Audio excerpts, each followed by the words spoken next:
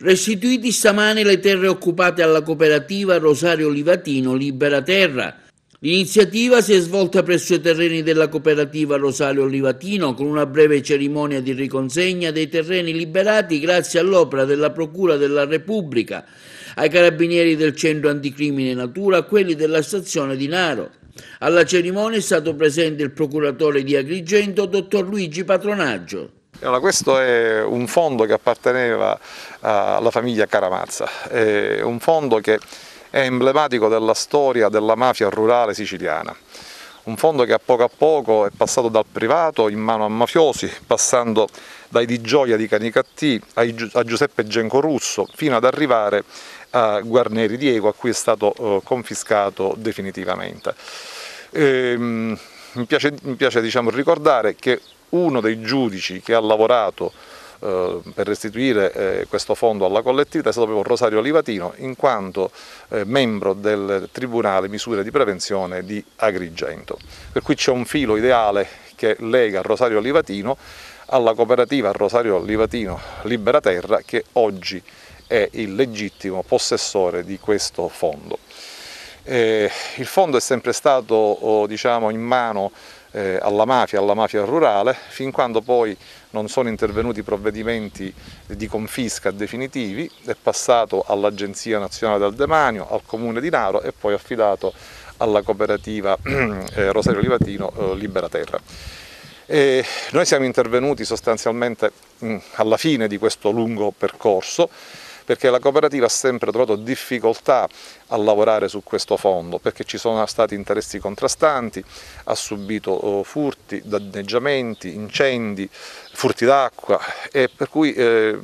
noi abbiamo ritenuto di dover intervenire insieme ai carabinieri che ci hanno aiutato eh, a ricostruire questa complessa vicenda e restituire questo oh, terreno eh, ai legittimi proprietari che speriamo oggi lo coltivano, lo devono coltivare in quella che è una grande scommessa. La grande scommessa qual è? La grande scommessa è lo sviluppo nella legalità, questa è la grande scommessa, cioè dire restituire i beni confiscati alla mafia a organizzazioni, a lavoratori, a cooperative che portino l'economia legale laddove c'era l'economia illegale. È un'etta, è, quanto è esteso il, il, potere? Il potere è esteso circa 190 ettari, 190 ettari variamente coltivato, insiste un laghetto, e tra le cose che abbiamo trovato quando abbiamo permesso mh, alla cooperativa di rimettersi in possesso abbiamo trovato 1200 pecore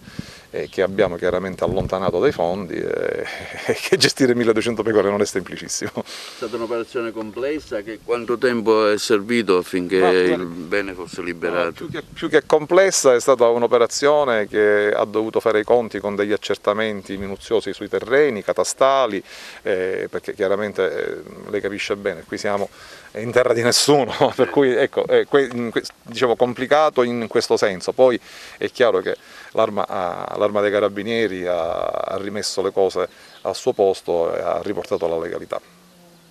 L'arma eh, di Agrigento nella sua componente territoriale e specialistica sotto la guida della Procura della Repubblica ha dopo oltre un decennio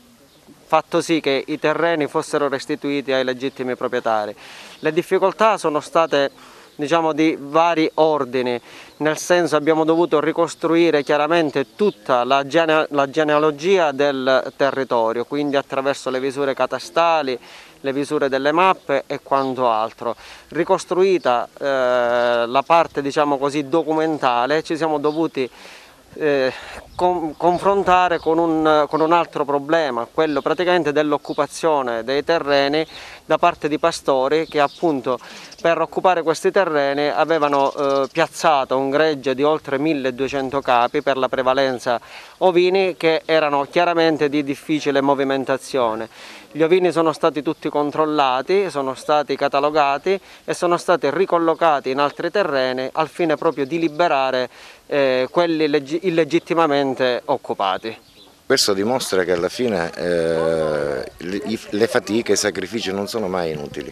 Tutto quello che fu l'impegno e soprattutto anche la fatica dell'Ivatino per sequestrare questi beni, ricordiamo che la legge a Rognano La Torre era stata appena approvata, quindi la difficoltà ancora nel giungere anche all'atto finale che era quello previsto dalla legge della confisca dei beni e quindi della loro restituzione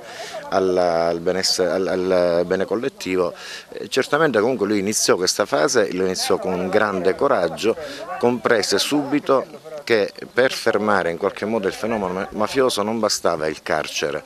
perché il carcere in qualche modo il mafioso lo mette in conto, ma togliere questi beni ai mafiosi significa realmente eh, metterli in condizione di, eh, di, essere depotenziati e quindi di non poter più svolgere le loro attività criminali con grande facilità.